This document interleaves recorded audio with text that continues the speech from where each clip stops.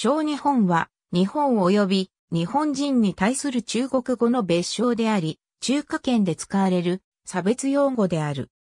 中国文化における中華思想の特徴には、儒教の影響で人物や国家といった物事の関係を水平ではなく上下関係で見るという考え方が存在するため、名前の前に、老や章をつけて、序列を明示しようとすることが多く、日本語と違って中国語圏では、小さいことは、部別の意味になる。中国語で、章は、小さい、度量の狭いという意味を持った別称であったり、同輩や目下の者の名前に被せて、タイちゃんといった意味を持たせる場合に用いることがある。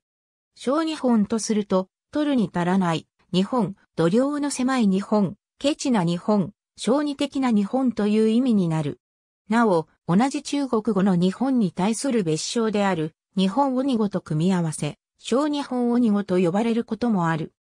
日中戦争以前は滅多に使われなかった言葉だったが、戦争が始まってから大陸に勢力を拡大する大日本帝国に言葉の上でも対抗しようという抗日の機運とともに、一気にこの言葉が広がった。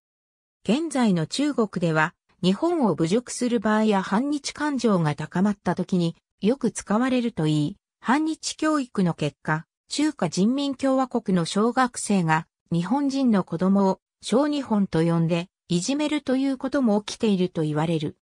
AFC アジアカップ2004で日本に敗れたことで中国人サポーターが小日本死ね、などと発言したり、反日デモでも打倒、小日本と書いた紙が写され、日本のメディアに流れた。他方、朝鮮語にも日本人に対する別称として、小日本とほぼ同じニュアンスのウェノムなどの言葉がある。なお、山口県旧豊浦郡菊川町の一部地域も小日本と言われているが、読み方は小日本であるため注意を要する。ありがとうございます。